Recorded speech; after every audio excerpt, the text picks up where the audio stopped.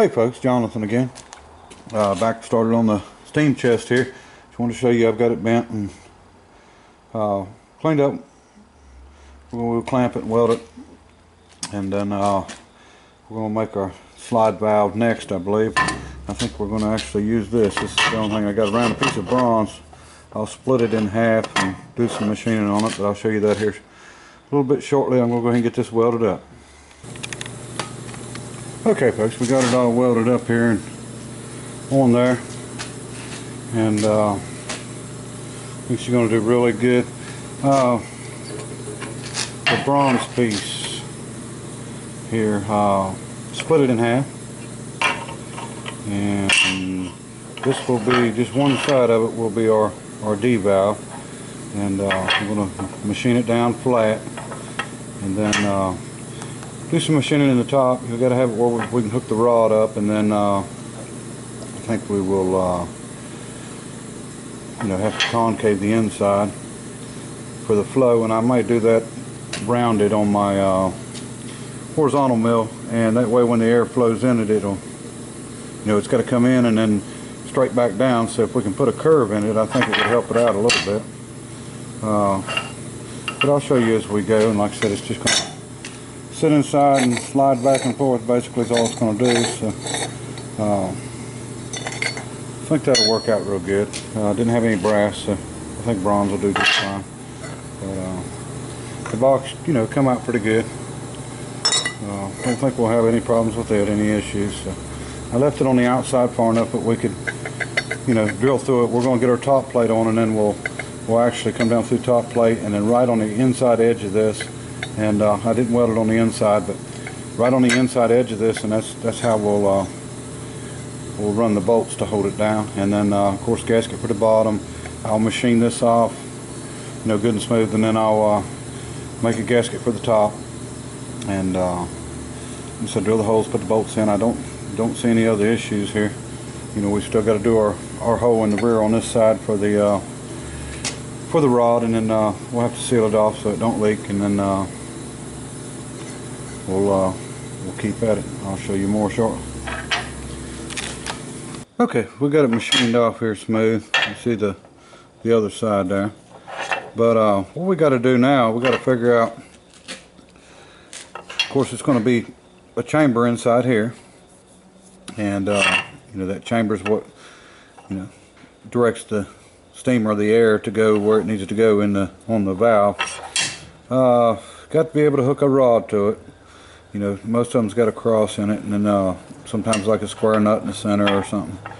But you know that leaves me with the issue of how deep to go with the uh, the piece. I wanted to do it on the horizontal mill and round it and I may just do it on the vertical and just cup it out into a square like like all the others I've seen but uh, I think we'll do the top side first and see see what we need to do on getting it uh, getting it hooked up. And basically what you see is it's just going to go back and forth and uh, you know direct your your flow so it's not complicated just uh, a lot of little things you got to get figured out on but uh, we'll figure out what we're going to do on that and maybe machine some of the top side and I'll show you more okay folks we've got it uh, got it machined the way we want it put a T-slot in it uh, cut the bottom machined out. I just done that by hand, so it's not not anything beautiful. I mean, on the milling machine, of course, but uh, this fits down inside. You can see the square nut it holds it, and uh, it'll go in the uh, steam chest like that, and uh, of course just slide back and forth. The uh, no, the bolt's a little bit high. Might be a little bit of problem uh, when it comes to our, our seal. Of course, we're not going to have a bolt in it. We're going to have a piece of linkage in it, but uh, might have to do a little bit of modifying or or maybe lower it down a little bit more. We you know don't want to get too low. You can see the slots machined out inside here, and uh, of course it's cupped out. So uh, I, and I stayed well within what I, you know, needed to. That way, if it does wear or anything, I mean, I don't think it's going to wear inside there, but I mean, if it was happening to wear some from that nut, it won't uh, won't go through for a long time. And uh, I think uh, I think this will work out fine. But we will see. And uh, but that's what's called a D valve, and you can see it shaped like the letter D. So, and uh, I guess that's why they call it that. But uh, I think it's going to work out good.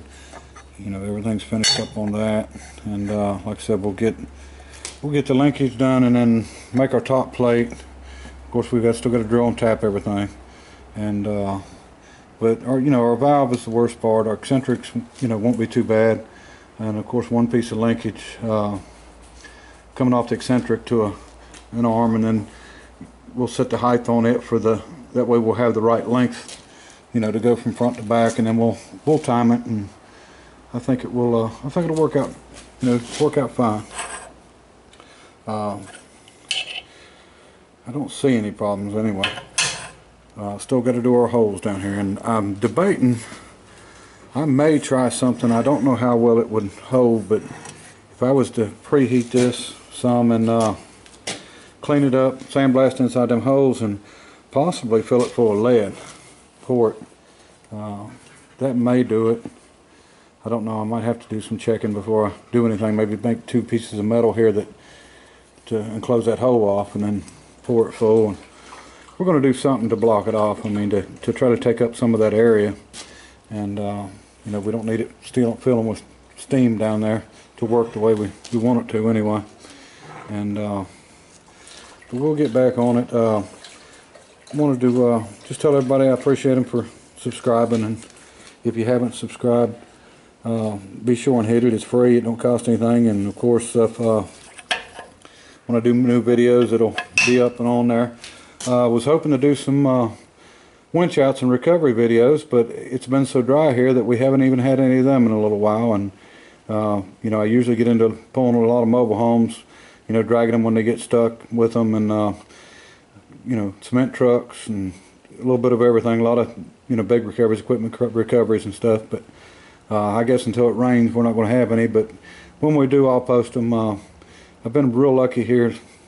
You know, I hadn't had to run out of the shop too too much, and uh, you know, this especially this week so far, and, and running record calls is, it, you know, keeps me pretty busy sometimes. And uh, I've got a driver that you know runs too, so he he's got to make a living. So I can't do all of them anyway. And uh, you know, if uh, the other morning, I think before 9:30 in the morning, I had done five calls, and uh, so you you just you never know. Some days are busy and some aren't. But uh, but you know, like I said, if you haven't subscribed, subscribe. Uh, thumbs up if you like it, and uh, be sure and you know post something there down below. I've uh, I try to answer all of them, of course, and you know if anybody's got any questions or suggestions, even because just doing what we what we think's right here, not necessarily what is right, but what we think's right. So uh, I'm going to go ahead and end this one here, a little bit short, but uh, I think this will be part three, and part four will be coming up soon. And uh, so we'll see you soon. Bye.